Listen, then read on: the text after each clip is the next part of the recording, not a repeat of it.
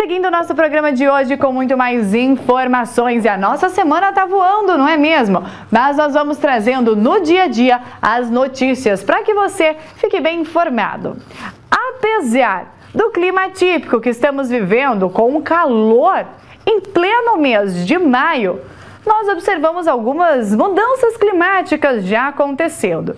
Durante essa semana, as manhãs e as noites já foram mais frias. Hoje, por exemplo, o céu já amanheceu nublado. E isso tem feito com que muitas pessoas com problemas respiratórios, e eu sou uma delas, sofressem com diversos sintomas, como sinusite, bronquite, entre outros. E isso acaba levando muito mais pessoas a procurarem unidades de saúde. Os centros de atendimento já registraram esse aumento no número de pacientes.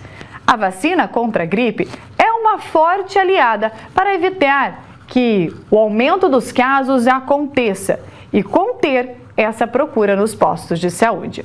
A vacina já esteve restrita a grupos prioritários, mas agora segue sendo aplicada em todos maiores de seis meses que desejam ser imunizados. Conversei com o secretário municipal de saúde, Felipe Machado.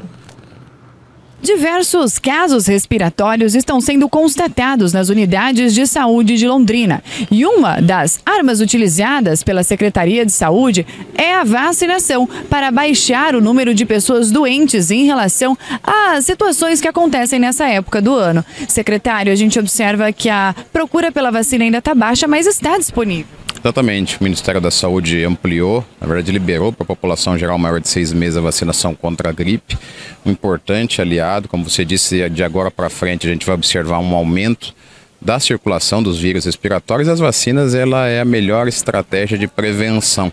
Mas não adianta ter a vacina no posto de saúde, não adianta ter os nossos profissionais aptos a realizarem a vacinação se nós não tivermos a conscientização e adesão por parte da, da população. E nós imaginávamos um cenário diferente.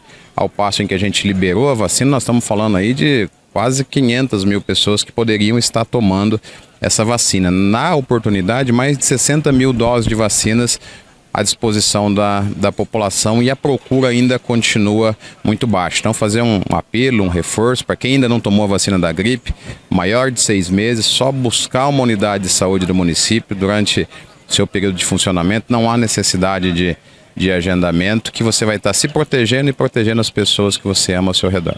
Secretário, ainda mais para quem tem problemas já respiratórios, sinusite ou algo neste sentido, é de extrema importância que tome. Sim, esses ainda eram os grupos prioritários, esses já tinham que ter sido vacinados, que foram, quando as vacinas chegaram, se eu não me engano, em abril, eh, eram as primeiras pessoas a, a, serem vacinadas justamente pelas suas condições de saúde, as pessoas com comorbidades que a gente fala. Porque essas pessoas, ao passo em que ficam doentes, por questões respiratórias ou até outras questões, seu sistema imunológico já tem um, um perfil, um percentual de defesa menor e, consequentemente, essa doença pode trazer um agravo mais é, é, rápido é, e mais forte, levando as internações hospitalares, levando a hospitalização, às vezes é, necessidade de lei de UTI, muitas pessoas, inclusive, ao óbito.